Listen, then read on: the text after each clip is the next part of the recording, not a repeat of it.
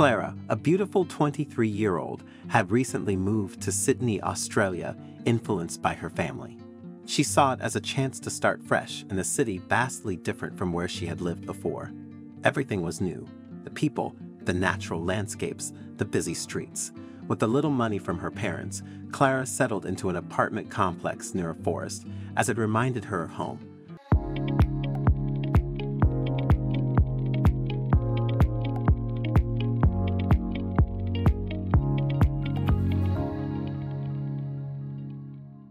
One day, her new friend John mentioned that he had found a snake hiding in his closet and didn't know what to do. Luckily, he was speaking to the perfect person for the job. Clara eagerly offered to help John with his predicament and carefully remove the snake from his home. John warned her that the snake could be venomous and advised caution. Clara nodded confidently, reassuring him that she knew how to handle it, having experience with snakes back home. Together, they went to John's apartment, and Clara quickly managed to get a hold of the snake. John was amazed at how calmly Clara handled the wild animal. Clara picked up the snake and walked towards the forest to release it. John paid her for the job, marking her first income since arriving in Sydney. She called home to share the news, and her parents congratulated her for finding her way out there. On the phone, her father said, I'm so proud of you, darling. Your life is really turning around for the better. Remember where you were just a few months ago. Be grateful that you aren't still there now. Clara's father had a point. Just a few months prior, Clara had been living with her husband near Kangaroo Valley, the place she grew up. Her father owned a cattle farm there and was also the town's very own snake catcher. Since she was little, Clara's father would bring her with him to catch snakes whenever people called him to remove the unexpected serpent guests from their homes or businesses. Eventually, Clara started to get used to the snakes and became very good at handling them. She knew a lot about snakes and wasn't frightened at all. Working as the only female snake catcher in the area, Clara received a lot of attention and soon became widely known for her talents. One day, Clara got a call from one of the hotels in town. Right under one of the bushes near the tennis courts, there was a large black snake. Clara arrived with her equipment, which consisted of nothing more than a big brown bag and snake tongs. Much to the relief of the guests, the young snake catcher was able to remove the snake with a few swift moves. All the guests who had scurried away and watched from a safe distance then applauded Clara. They were very impressed with her skills. One guest in particular was intrigued by the beautiful snake catcher. The very handsome man then approached Clara, introduced himself as Amir, and made a smooth move by asking her on a date to show his appreciation for what she had done. He didn't seem so interested in the snake catching act, but more so in Clara for her beauty and radiance. Clara had been single all her life and was easily charmed by this mysterious, dark, handsome man. They ended up going on a few dates with each other. As Clara started to get to know Amir better, it turned out that he was from a very successful and famous family. Although Clara was a simple girl brought up on a farm, she appreciated the fancy gifts and luxurious experiences that Amir provided for her. Even with the changes in her relationship and life, Clara remained true to herself and still practiced the things that she loved, like snake catching. Although Amir admittedly thought it was a bit strange, he tried to accept her and not let it affect the relationship. Amir promised Clara and her family that they would never have to worry now that he was in the picture. If only that were true.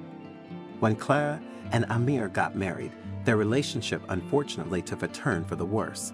Amir started to pressure Clara to stop working with snakes. He said that it was not what people in their class did, and it was embarrassing to him. Clara's pet snake, whom she had taken with her when she moved in with Amir, didn't like Amir and would snap at him whenever he was around. Although Clara wanted to make the relationship work, she also didn't want to sacrifice the one thing she really loved. One day, Amir threatened her that if she didn't get rid of the snakes, then she would be sorry. Clara was afraid of this side of Amir that she had never seen before. After the wedding, his real colors started to show, and he had a major anger problem that only seemed to get worse.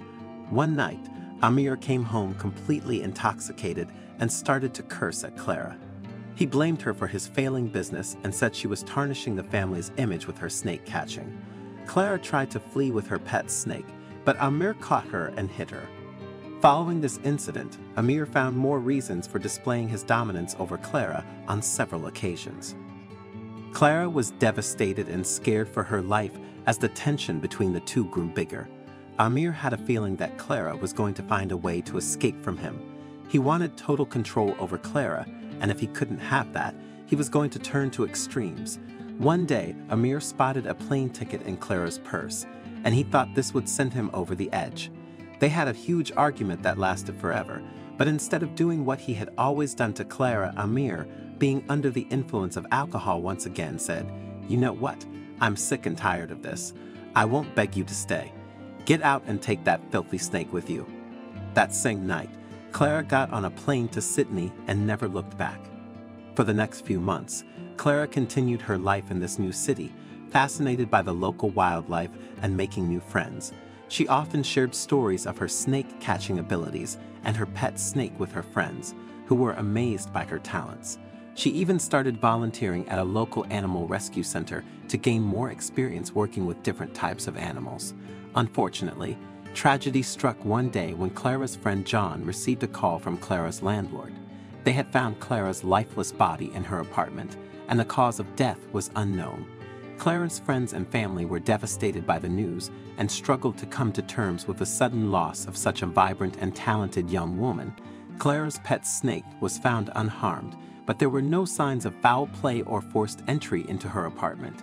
It seemed as though Clara had simply passed away suddenly and unexpectedly. Amir, who was legally still her husband, showed up at the funeral and blamed Clara's death on the snake, telling them that it bit her and killed her with its venom. Clara's parents were distraught over the loss of their daughter, but found it hard to believe that her beloved snake could be the cause of death. They attended the funeral along with everyone else from town, but what they saw there was the last thing they ever expected. They laid Clara's body down into the grave and began to cover her with dirt when suddenly her pet snake appeared.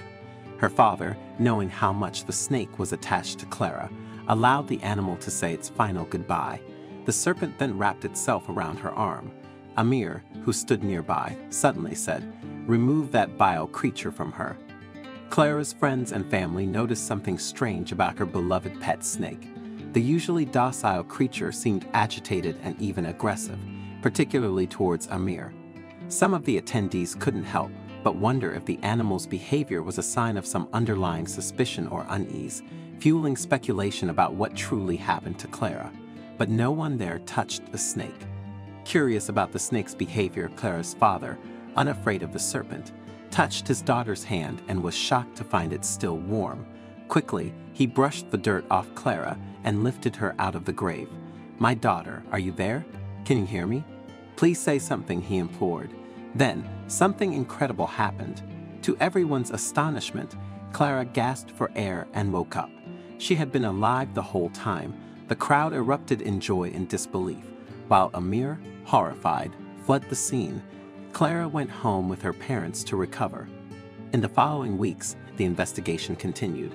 The police interviewed all of Clara's acquaintances, including her husband, whom they had managed to apprehend. Initially cooperative, Amir's story began to fall apart under scrutiny. Evidence revealed that he had been stalking Clara for months, sneaking into her apartment by claiming to be her husband, and had attempted to poison her. The jury found Amir guilty, and he was sentenced to life in prison for attempting to kill Clara. I'm really keen to know your thoughts on this story, so please don't hesitate to share your insights in the comments section below. If you enjoyed this video and found it engaging, I invite you to subscribe to our channel for more similar content. Feel free to share this video. Take good care of yourselves, and I'm excited to connect with you in our future videos.